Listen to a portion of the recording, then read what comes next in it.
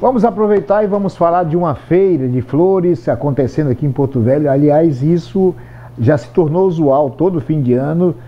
Acontece o Festival de Flores e Plantas de Olambra.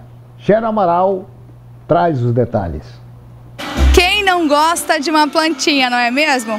Pensando nisso, foi elaborado o Festival das Flores de Olambra, que já está em sua 15ª edição.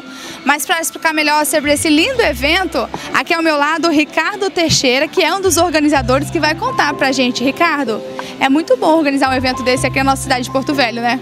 Sim, né? Nós já estamos na 15ª edição, praticamente entrando para o calendário anual da cidade, né? Porque é um evento que traz flores diretamente de Olambra, né? Cidade produtoras de flores no país. E é um evento beneficente, né? Então muitas pessoas já esperam, porque tem uma variedade muito grande, a preços populares, né? Vem orquídeas, rosas, rosas do deserto, suculentas, tuis, pinheiros, samambaias, uma variedade muito grande. Ricardo, conta pra mim, quais os benefícios de ter uma plantinha dentro de casa? As plantas alegram o ambiente, né? Além de perfumar, traz aquela cor, aquela atenção que a gente tem que dar, a gente para um momento ali, reflete, se acalma, né? O verde deixa tudo mais bonito, seja no interior de uma casa, no quintal, é sempre bom uma planta. Então vamos lá, me dá uma dica aí, quais os motivos para se adotar uma planta? Então, embelezar o ambiente, né? Receber visitas, o Natal tá chegando, as festas de fim de ano. Ali você ensina para as crianças a importância do ambiente, né? Nosso meio ambiente, cuidar como é que as plantas podem nos trazer um ar mais limpo, né? Um, um ambiente mais saudável, né? Além do, do cuidado que você tem que ter, dar aquela atenção, né? É muito bom ter uma planta. Então vamos lá, até que dia fica o Festival das Flores aqui em Porto Velho? Até o próximo domingo, agora dia 10. Né? Nós iniciamos dia 24 e até domingo, agora dia 10, das 9 da manhã às 9 da noite. É importante reforçar que todas as pessoas que estão trabalhando aqui, elas não estão recebendo por isso, né? Esse evento é totalmente beneficente. A gente traz as plantas através de uma empresa, essa empresa recebe, né, para aqui para Porto Velho, e o evento que está aqui, ele é para instituições beneficentes, como a Casa Leal de Idosos, a Associação Beneficente União do Vegetal, a Casa da União, tá? Associação José Gabriel da Costa. E aí todas as pessoas que trabalham aqui são voluntárias para atender essa parte beneficente.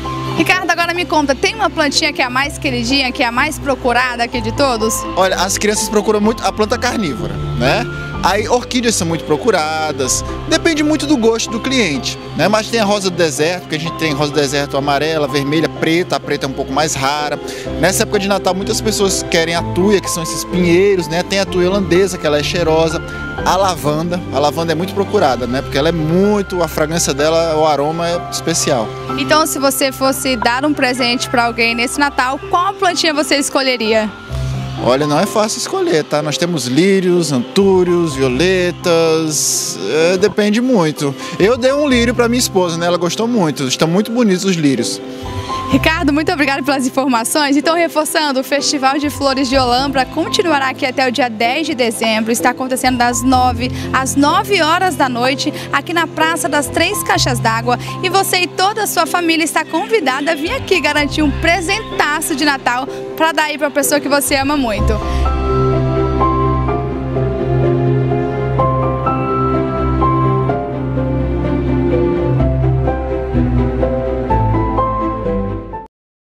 Isso aí, até o dia 10, até domingo, hein? Você pode ir lá, olha, tem umas flores bonitas, viu? Essas lírios aí, meu irmão, bonitas, viu? Aliás, tem flores para todos os gostos, né? Tem aquelas flores de amor que são as rosas, né? Enfim, você vai lá e, e compra aquela que você gosta, tá certo? Vale a pena conferir.